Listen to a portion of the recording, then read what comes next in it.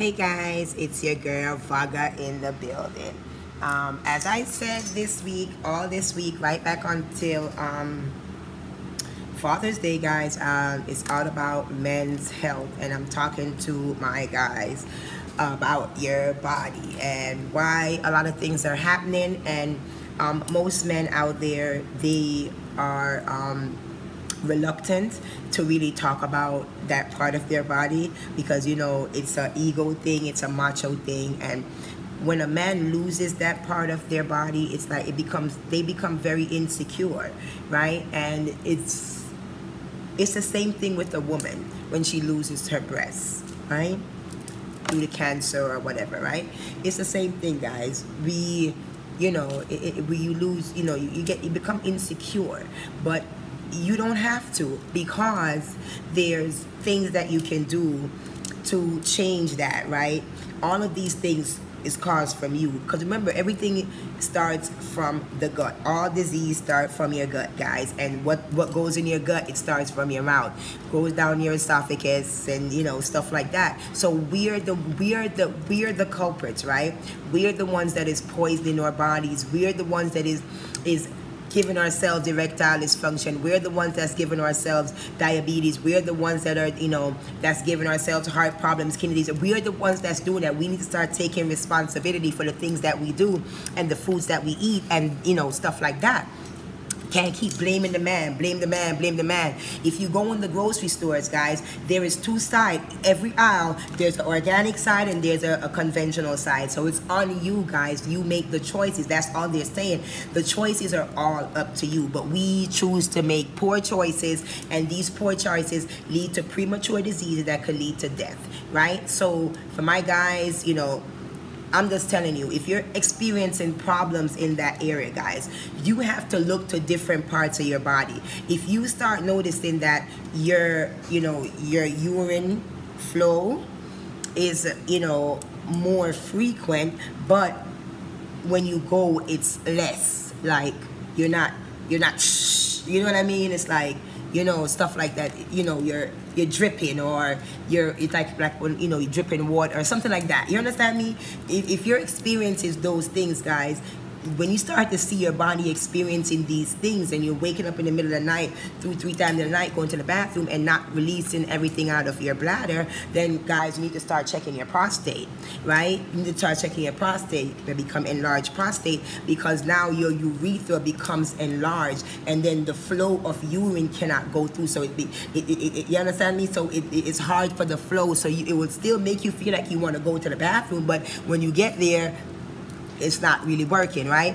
So, you know, it's just different things that you could you know that could happen, guys, that could cause, you know, prostate problem, that could cause erectile dysfunction, that could cause um infertility, that could cause, you know, you know, all of these things, these sexual problems with men, guys. And, you know, we have to look to our endocrine system. We have to look to our kidneys, guys. We have to clean our liver. We have to cleanse our lymphatic system, guys. We have to drain our, you know, clean, cleanse our body of all those fluids and waste and all these things from the foods and the toxins that we accumulate you know, over time from synthetic, from the lotions to the soaps to the, you know, the, the detergent that we wash, what wash our clothes with, to the foods that we eat, to the water that we drink, guys. There's so many things that causes problems. And, you know, a lot of men, you know, that said you guys feel like eating steak and potatoes is going to make you strong, but no, it doesn't. It literally breaks you down over time, right? We have to look towards your endocrine system, guys. If you have problems with your, with your, with your testes, guys, if you're experiencing like, you know, different, you have different problems that you could you could have with your testes.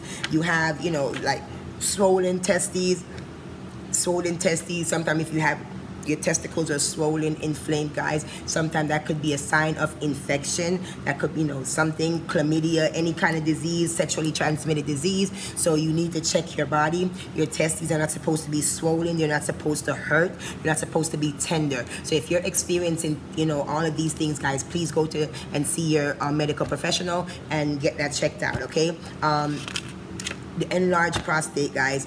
10% uh, of men at age 40 have enlarged prostates and this reaches almost 100% by 100% by age 60 As the prostate increases in size, the caliber of the urethra, which lies within the prostate as it leaves the bladder, is narrowed, interfering with the flow of urine, right? The typical symptoms consist of difficulty starting, starting the flow of urine, reduced force of urine stream, and, and dribbling of urine after, after voiding. Frequency of urination usually increases, especially at night, right? Continued enlarge and continued enlargement of the prostate poses several hazards. First, the bladder may not empty completely at the time of, of voiding, allowing stagnant urine to collect and become infected.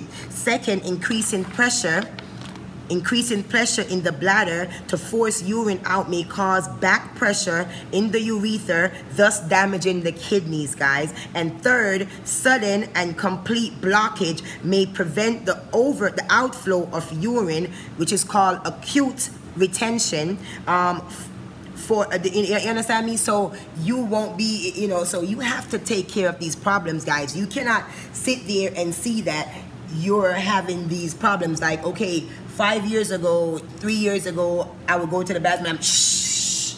Now I'm dripping. Now I'm waking up in the middle of the night. You see these signs, guys. You need to go to the doctor. You need to get your these things checked out. Don't sit there and wait until it turns into some until it leads into something more damaging where now you're literally losing every movement of from your you know that area, right? you can have cancer in the prostate, guys, right? You get cancer in the prostate over time if you don't take care of those problems I just stated previously, right? Um, it's so many different things that you can have, guys. So many different things. You understand me? And the first thing that we have to do, guys, we have to cleanse. we have to cleanse, we have to detox, and we have to fast the body. We do not want diabetes, guys. We do not want high blood pressure. We do not want high sugar. We don't want diabetes. We don't want none of those things because remember, high blood pressure leads to high sugar, and high sugar leads to diabetes. Diabetes leads to heart disease. Heart disease disease leads to kidney disease. You understand what I'm saying? And and so forth and so forth and so forth. So once you start seeing you have your body, you're having problems in that department where you're having high blood pressure, all you need to do is start changing the way you eat, guys. Cut out all that red meat. Cut out all the egg and the cheese and the dairy and all of that stuff, guys. You understand me? Cut out all of that stuff, refined sugar, the flour, the white, the white flour, white bread, white, all of that stuff. Cut it all out right? With refined foods, all of that stuff. Cut it all out, guys. Start changing the way you eat. Incorporating organic fruits and vegetables in your diet. Grains, nuts, seeds, right? Um, uh, herbs, guys. Herbs, cleanse, detox, fast. Herbs, guys. Herbs, sea moss take sea moss on a daily basis, guys. All of these things, once you start to change the way you eat, once you start to change your body, you could reverse all of these things that's going on in your body, guys, because the body naturally heals itself. It is a self-healing mechanism, guys. We just have to literally produce it and, and, and, and, and, and, and feed it the, the proper nutrients for it to repair itself. Now, most people will go quick for the, the medic, you know, the pharmaceuticals because it, it works fast. 15 minutes, bam, that pain is gone. Herbs take time, guys. Herbs take time, so they work over time. You understand? So if the, the more you take it, the more you incorporate herbs, is the more you start to see these herbs start working in your body, guys. And the more you're eating properly, the more